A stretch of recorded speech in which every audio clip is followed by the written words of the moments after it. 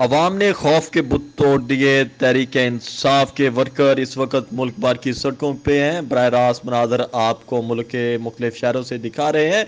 इस वक्त तहरीक इंसाफ के कारकुनान के साथ जो गुजशत रात तो कुछ हुआ तो चेयरमैन तहरीक इंसाफ इमरान खान ने इतवार के रोज़ की कॉल दी हुई थी कि मुल्क भर में तहरीक इंसाफ के तमाम कैंडिडेट्स वर्कर पार्टियों के दौरान टिकट होल्डर सब निकलें और आवाम तक अपना पैगाम लेके पहुँचें। आवाम को बताएँ कि हमारे ये इंतबी निशान है।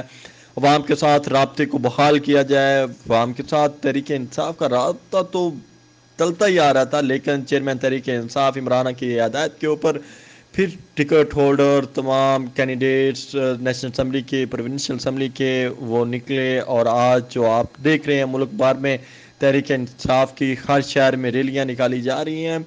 आपको बताते चलें कि गुजशत रो, रोज़ तरीके इंसाफ के जो कारकुनान हैं पार्टियों दौरान हैं कोई कैंडिडेट्स हैं टिकट होल्डर्स जितने भी लोग हैं उनकी गिरफ्तारियाँ की जा रही हैं। गुजशत हफ़्ते की रात बड़ा ऑपरेशन किया गया मुख्तफ शहरों में तहरीक इंसाफ के वर्कर्स को उठाया गया, जो एक्टिव वर्कर थे, उनको उठा लिया गया। आपको बताते चलें कि वजीराबाद से तहरीक इंसाफ के रहनमा चौधरी यूसुफ को उठाया गया। कसूर से तरीके इंसाफ के सदर और प्रोविंशल असम्बली के मेंबर महर सलीम एडवोकेट को उठाया गया। उकाड़ा से इरशाद सियाल को उठाया गया।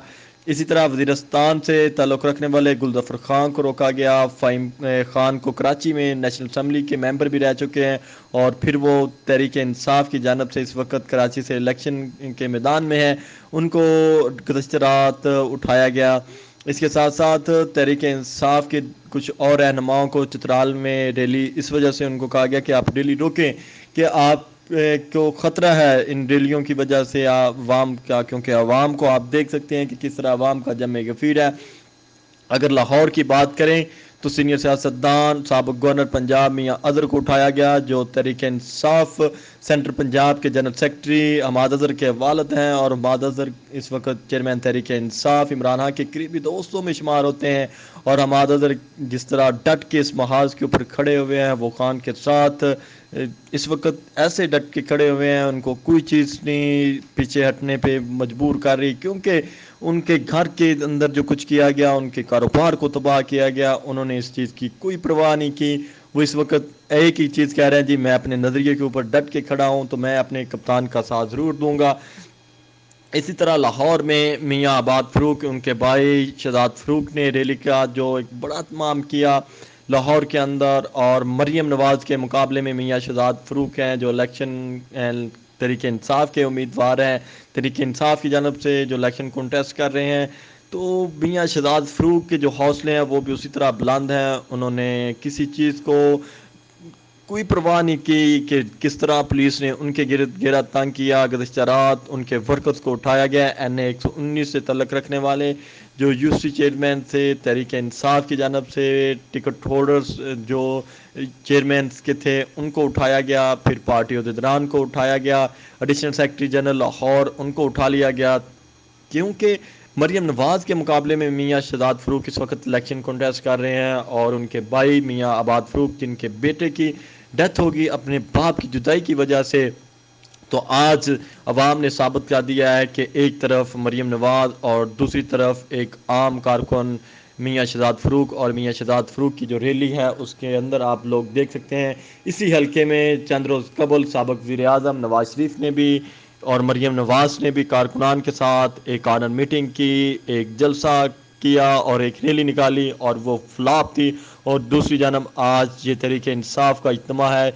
अगर बात करें कि ये क्या चेयरमैन तरीके इंसाफ इमरान खां के लिए लोग निकले हैं या आबाद फरूक ने सबसे बड़ी जो लाहौर की रैली है, वो आज आबाद फरूक की रैली थी, जिसके अंदर लोगों की कसीर तादाद आप देख सकते हैं। इस वक्त सड़कों के ऊपर मौजूद है आबाद फरूक के भाई ब्रिसल सलमान अकमर राजा एन एक सौ अट्ठाईस के अंदर तरीके इंसाफ के वर्कर्स के साथ सड़कों पे निकले लाहौर के इलाके मुस्लिम टाउन, वादत रोड, किनार रोड के ऊपर और फिरोजपुर रोड के ऊपर उन्होंने जो लोगों को निकाला काफ़ी कसी तादाद में वो लोग थे और इसी तरह डिफेंस के इलाके से एन एक सौ बाईस सरदार लतीफ़ खोसा, जिनके मुकाबले में ख्वाजा साद रफ़ीक हैं और सरदार लतीफ़ा खोसे के बेटे खुरम लतीफ़ खोसा को पुलिस ने कहा कि आप इजाज़त नहीं है इस रैली की तो खुरम लतीफ़ खोसा को गिरफ़्तार करने की कोशिश की गई, फिर उनको वार्निंग दी गई, फिर उनके कारकुनान के साथ ये चीज़ें की गई कि आपको ये इजाज़त नहीं, आप नहीं जा सकते।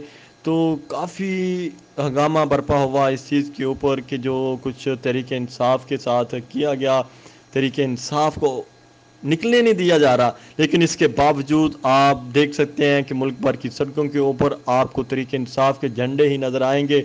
इसके अलावा आपको कुछ नज़र नहीं आएगा। हर तरफ़ तरीके इंसाफ के झंडे हैं, तरीके इंसाफ का जो वर्कर हैं वो इस वक्त सड़कों के ऊपर हैं। उनके पीछे पीछे पुलिस है, आगे आगे तरीके इंसाफ के वर्कर हैं, आगे उससे आगे इंतज़ामिया है। कहीं कंटेनर लगाए जा रहे हैं, कहीं पे कुछ और सिक्योरिटीज़ की वजूहत बताई जा रही हैं। जी सिक्योरिटी वजूहत हैं। आपको यहाँ पे रैली आप नहीं निकाल सकते, आप यहाँ पे इज्तम नहीं कर सकते। दिल्ली इंतज़ामिया एक तरफ़ आगे दिल्ली इंतज़ामिया रुकावटें खड़ी करके खड़ी हुई है। पीछे पुलिस है और दरमियान में तरीके इंसाफ के बहादुर वर्कर हैं जो इस वक्त अपने जो इलेक्शन का हक है, उसके लिए वो वाम के साथ रबता करने की जो कोशिश की जा रही है, उस रास्ते के अंदर रुकावटें डाली जा रही हैं, लेकिन इन रुकावटों को अबूर करते हुए जो कारकुनान हैं, वो आपको सड़कों के ऊपर नज़र आ रहे हैं, वो चाहे बच्चे हों, बूढ़े हों, बुज़ुर्ग हों, नौजवान हों, औरतें हों, सब लोग इस वक्त सड़कों के ऊपर हैं और एक और चीज़ हमने देखी कि ना सिर्फ़ आज बड़े शहरों में है, तरीके इंसाफ को कहा जाता था, जी, ये बड़ों शहरों में रैलियाँ निकालेगी, छोटे शहरों में इनसे कुछ नहीं होगा।